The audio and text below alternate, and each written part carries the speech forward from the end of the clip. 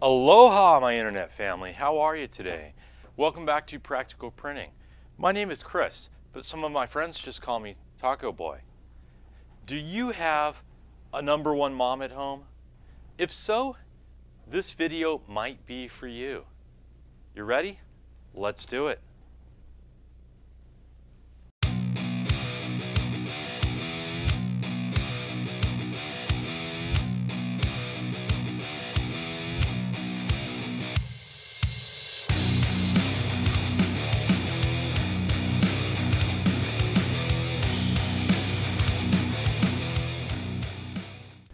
So with Mother's Day coming up, I thought it was time to think about some practical projects that could turn into fun projects to do with the kids.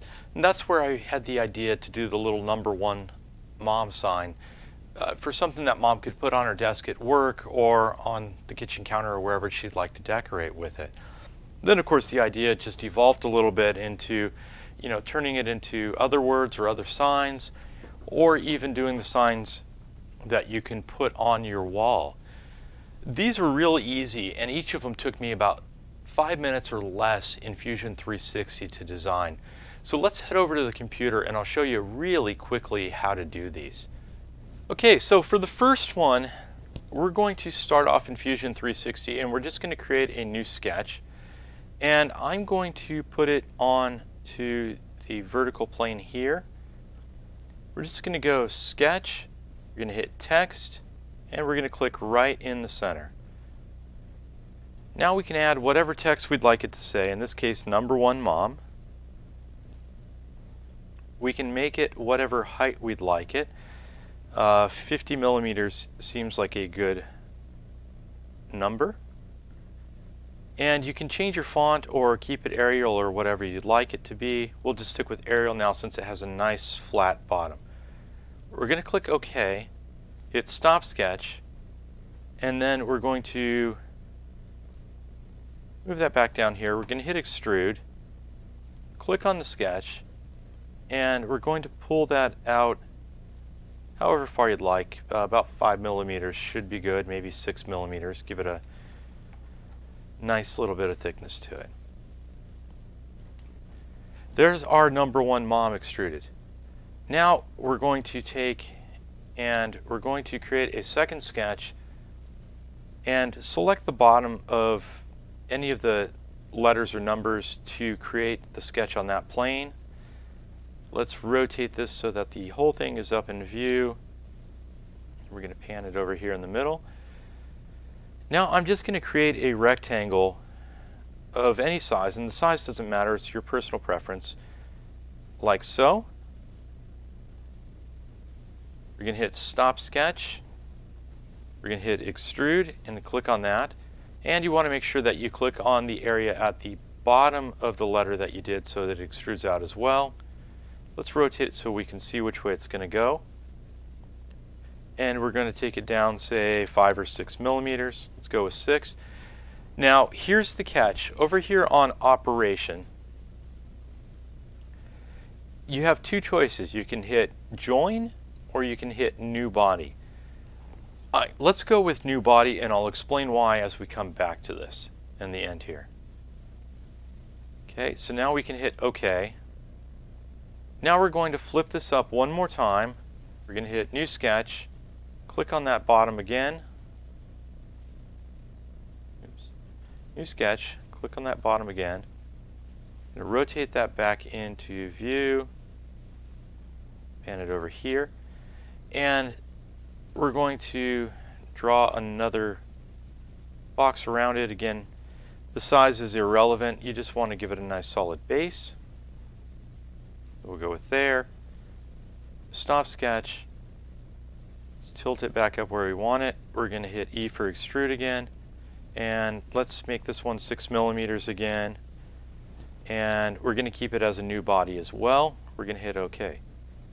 Now we have three different bodies for the base and for the letters.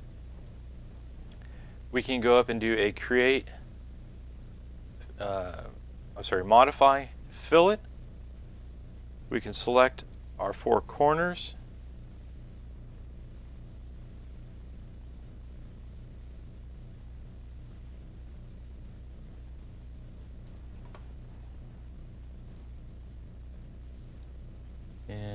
Rotate that to get to the other two.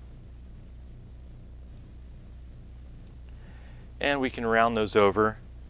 Again, you can do any shape you like. I just wanted to give them a little bit of a round. Going to hit OK.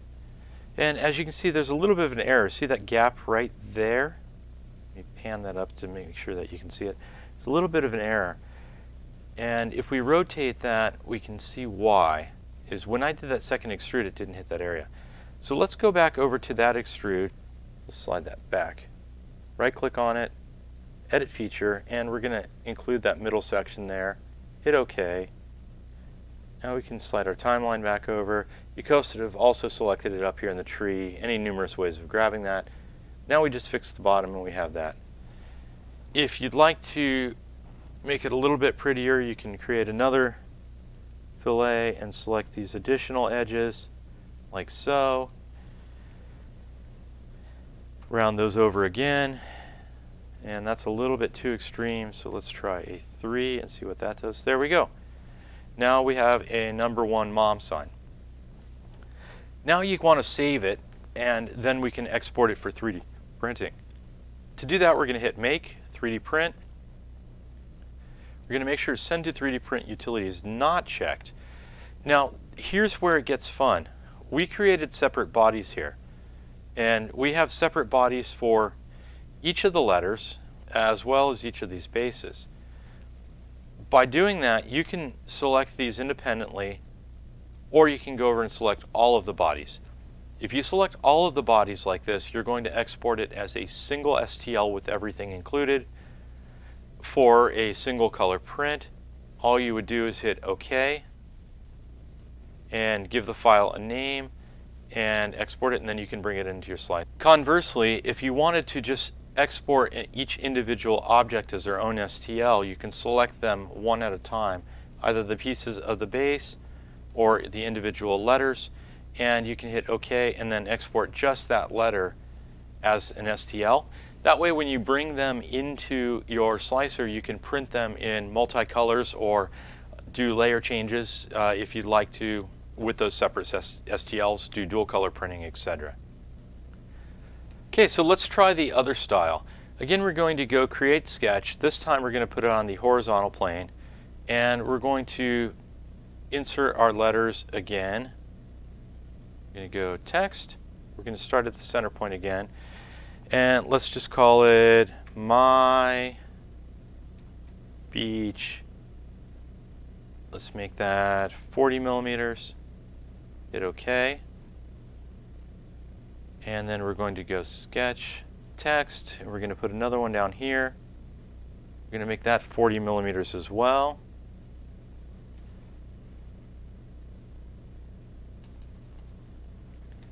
Beach house okay now we can grab that and grab that blue dot and we can position this wherever we want so if we want to kind of line it up center like that and hit OK we can hit E for extrude and we want to select both of those.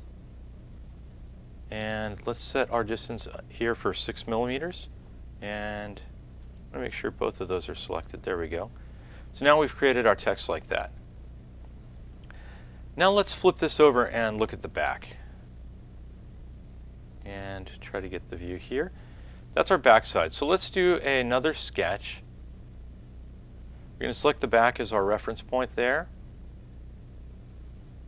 Again, we're going to zoom that down a little bit and pan that over so that we have the whole thing in the center of our view. This time, I'm going to go with a spline and I'm just going to randomly kind of click around the sides here like this. This is purely random.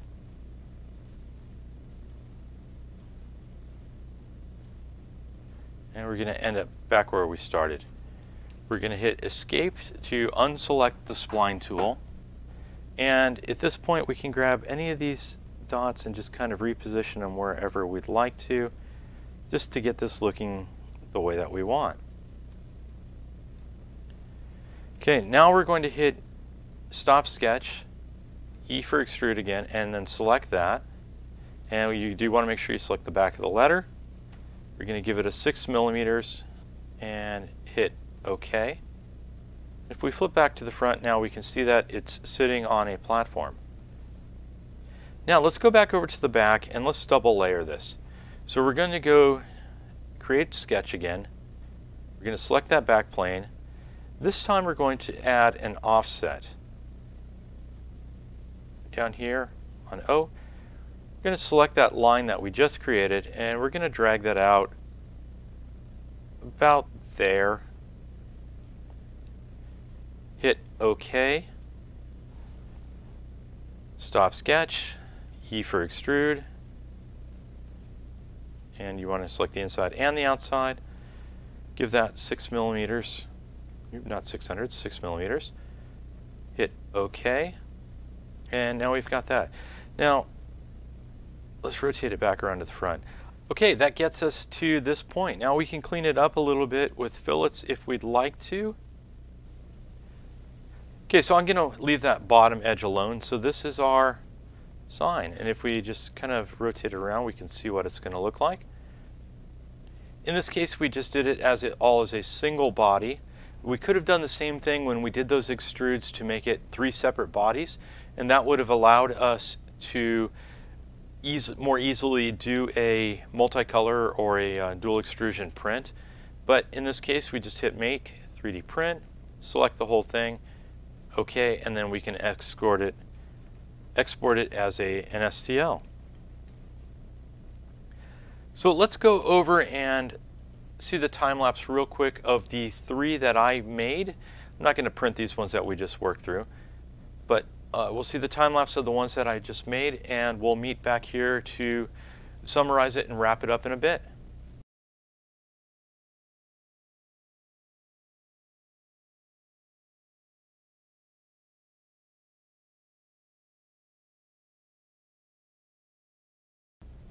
Okay, there you have it. Now you know how to make your own simple little desk or wall signs in five minutes or less using Fusion 360. Of course, it'll take you longer than that to print it.